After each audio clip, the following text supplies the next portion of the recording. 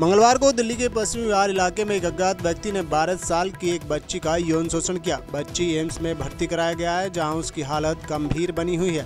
पीड़िता के शरीर पर चोट के निशान है।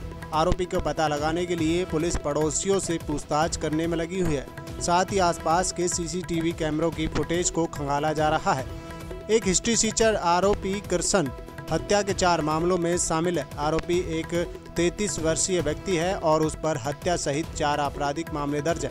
आगे की जाँच चल रही है। पुलिस ने कहा है कि उन्हें घटना की सूचना मंगलवार शाम को मिली।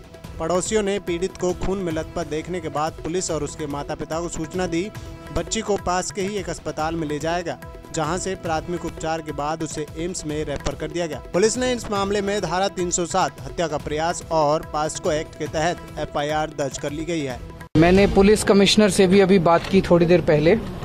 आ, उन्होंने भी बताया कि पुलिस पूरी कोशिश कर रही है दोषियों को पकड़ने की और पुलिस जाँच और सब जारी है।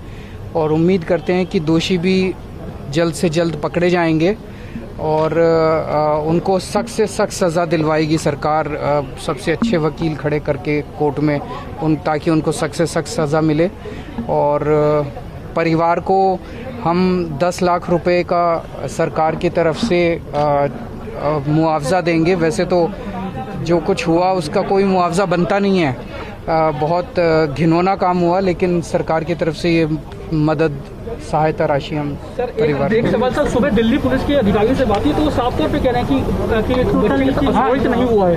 मतलब वो मना कर रहे हैं कि बच्चे के साथ रेप या गैंगरेप जैसी कोई वारदात नहीं हुई क्या वो छुपा रहे हैं अपनी कमियाँ मुझे नहीं पता मैं उसके ऊपर टिप्पणी नहीं करना चाहूँगा मैं आपको वो बता रहा हूँ जो भी मेरी डॉक्टर के साथ। Fourth of August a 12 year old child was assaulted a case under POCSO was registered.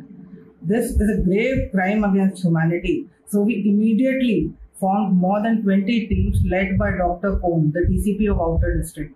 These teams have scanned hundreds of CCTV footages, interrogated all the suspects who have a similar background, as well as conducted local inquiries. Finally, they have zeroed in on one uh, prime suspect who was interrogated. During his interrogation, he has corroborated the sequence of events leading to the assault on the child. The person has been arrested. His name is Krishan. He is a 33 year old man. He has four criminal cases against him.